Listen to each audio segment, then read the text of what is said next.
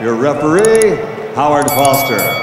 And now, your referee, Howard Foster. Tayari imethibitisha kampuni ya promotion ya ngumi za kulipwa nchini Kemon Sports Agency wameweka uwazi kwamba mabondia Oscar Rashidi na Adam Mbega wao watapanda ulingoni kuwania mkanda wa ubingwa wa mataifa wa kamisheni ya ngumi za kulipwa nchini TPBRC. Mabondia hao bwana watapanda ulingoni kwenye pambano ambalo linatarajia kupigwa Februari 24 mwaka huu 2023 kwenye ukumbi wa Ubungo Plaza, Dar es Salaam, ambapo Mtanzania Selemani Kidunda nusu mtu nusu jini ambapo watapanda ulingoni kuwania mkanda wa ubingwa wa Afrika ABU dhidi ya Patrick Mukala, bondia huyu kutoka DR Congo. Kwa hiyo kuna vita nyingine ya vijana ambao watapanda ulingoni siku hiyo, na mambo yatakuwa mazuri na ni makubwa kwelikweli. Tukianza na rekodi ya Adam Mbega, kwanza ni kijana mdogo mwenye umri wa miaka 23, lakini ana nyota mbili mpaka hivi sasa. Divisheni yake anapigana katika uzani wa bantam. Dunia yuko nafasi ya 99 kati ya mabondia 987 lakini kwa Tanzania yuko nafasi ya kwanza, na mpaka hivi sasa tayari amekusanya raundi zake hamsini kwenye game na ameweza kushinda mapambano 11, amepoteza matatu na hajatoa sare pambano hata moja. Tanzania huyu ambaye anapiga orthodox mkazi wa Dar es Salaam, lakini pia ni mzaliwa wa Dar es Salaam. Kwa hiyo anapanda ulingoni tarehe 24 mwezi huu wa pili mwaka 2023, anaenda kupambana na Oscar Rashid au unaweza kumuita Oscar Rashid Duge. Oscar Rashid Duge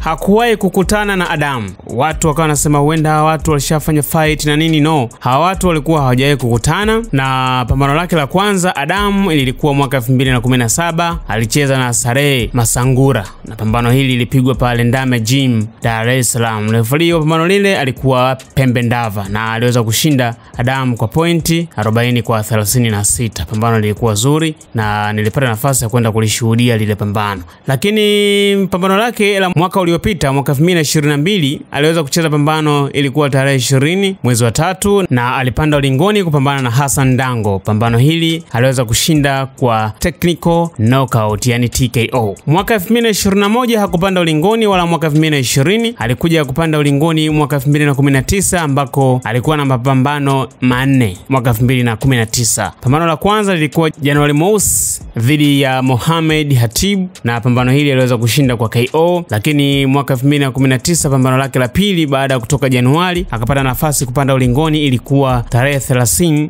mwezi wa tatu, na pambano hili lilikuwa limepigwa pale Russia dhidi ya Potap, ambalo pambano hili Adamu aliweza kupoteza, lakini pia akapata nafasi mwaka 2019 ilikuwa mwezi wa nne baada ya kutoka mwezi wa tatu kule Russia, akapata nafasi ya kupambana hapa nchini Tanzania dhidi ya Abdul Ali, pambano ambalo lilipigwa pale Chanika pale Dar es Salaam. Aliweza kushinda pambano hili kwa KO. 2019 akafunga pambano lake mwezi wa sita dhidi ya bondia Hassan Ndonga, na pambano hili aliweza kupoteza. Mwaka 2022 baada ya kutoka mwaka 2019 aliweza kupanda ulingoni kama ambavyo tumeangalia rekodi yake, alirudiana na Hassan Dango. Kwa hiyo anaingia katika pambano hili akiwa ana kumbukumbu ya kuweza kupata ushindi wa technical knockout mwaka jana mwezi wa tatu tarehe 20 kutoka kwa Hassan Dango, ambaye Hassan Dango aliweza kumpiga mwaka 2019. Kwa hiyo akakaa chini akajiuliza, akasema sasa nakutana naye tena Hassan kwa mara nyingine, lazima nirudishe kisasi, na tunaona namna ambavyo anafanikiwa kutoka mwaka 2019 kupigana na Ndonga, anakuja kupata nafasi tena ya kumchakaza Hassan Ndonga mwaka 2022 mwezi wa tatu. Kwa hiyo ana muda mrefu hajapanda ulingoni, takriban miezi 11 anaenda kupata fight dhidi ya Oscar Rashidi. Kwa hiyo sisi tusubiri kuona mchezo utakuwaje, lakini mchezo utakuwa mzuri sana kwa sababu mabondia hawa wote wawili wako katika average ya ujana, yani miaka yao haijatofautiana sana.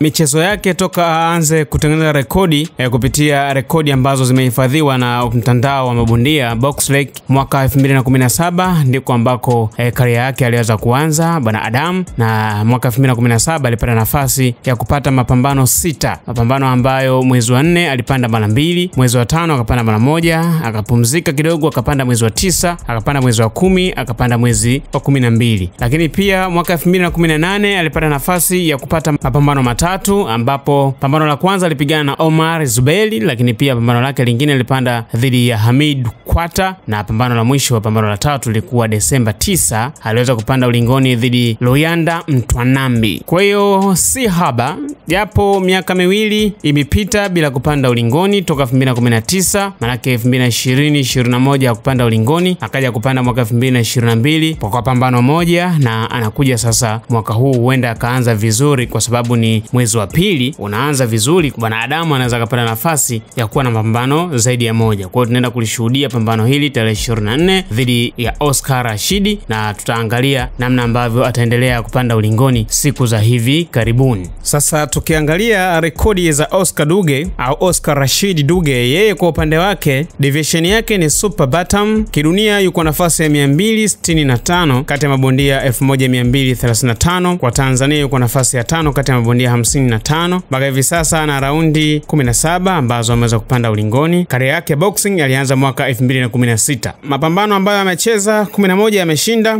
matano amepigwa na ametoa sare pambano moja mpaka hivi sasa. Umri wake ni miaka 25. Mtanzania ambaye anapiga orthodox, mzaliwa wa Dar es Salaam, lakini pia shughuli zake anazifanyia Dar es Salaam. Rekodi zao zinashabiana za ukaribu kabisa, lakini anapanda ulingoni akiwa na rekodi nzuri ya kuweza kucheza mapambano mawili mwaka 2022. Pambano la kwanza lilikuwa tarehe 27 mwezi wa pili, alicheza dhidi ya Charles Malele na aliweza kushinda kwa KO. Wakati huo akaja akapata nafasi ya kupanda ulingoni mwezi wa saba mwaka 2022 ambapo alipata ushindi wa pointi dhidi ya Bongani Makovora. Huyu alikuwa bondea kutoka pale Zimbabwe. Kwa hiyo tusubiri kuona burudani ya aina yake siku ya tarehe 24 mwezi wa pili mwaka 2023.